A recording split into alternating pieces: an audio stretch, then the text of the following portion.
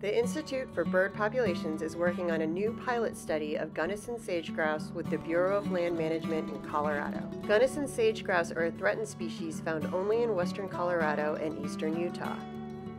In the early spring, these grouse gather at open areas called leks, where the males perform an elaborate display and females pick their mates. We're helping BLM determine which leks used by the birds in the past are still in use and when the birds use them. In early March, before the grouse started displaying, we put out ARUs, or Autonomous Recording Units, around historic leks. These units are programmed to record sound for several hours each morning for the next few months. Now you might be wondering, why does that ARU look like a reindeer? IBP biologist and ARU expert Jerry Cole explains. The question is, why does that thing have so many spikes on it?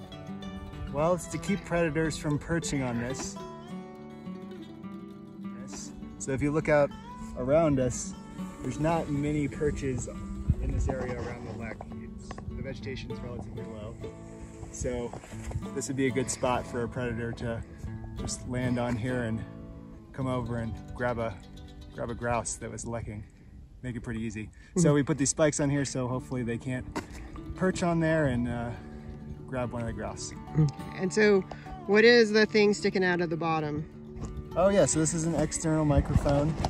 When we did uh, our other project using these boxes and the AudioMoths, we uh, used the, the onboard microphone, which is uh, called a MEMS microphone. It's like what you have on your cell phone. It's a little bit lower quality, so we chose to use these external microphones so that we get a little bit better sound quality for this project uh, in the hopes that maybe we would get a larger detection radius for after the grouse are done displaying on the leks, we will retrieve the ARUs and Jerry will analyze the recordings to see if we captured any grouse sounds.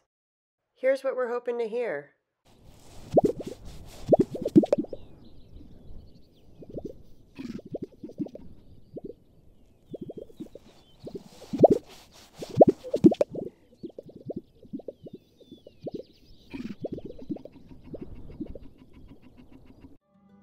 All goes according to plan, we will be able to tell the BLM which leks are being used and when, so that land managers can ensure that the leks are conserved and not disturbed when the grouse are displaying.